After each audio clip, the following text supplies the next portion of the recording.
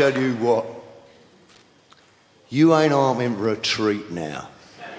You'll be so pleased you come out tonight. Because you see him here, don't you? Our drummer, Phil.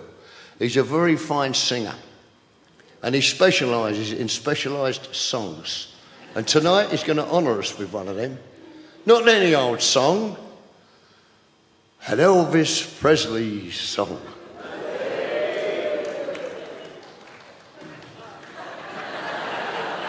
You might have to use your imagination a bit, but. So will I, Mickey. What's it going to be, King? Mystery Train. Oh, yeah, Mystery Train. Uh huh. Uh huh. You ready, fellas? Uh huh. Uh-huh. Yeah. A one, two, a one, two, three, four.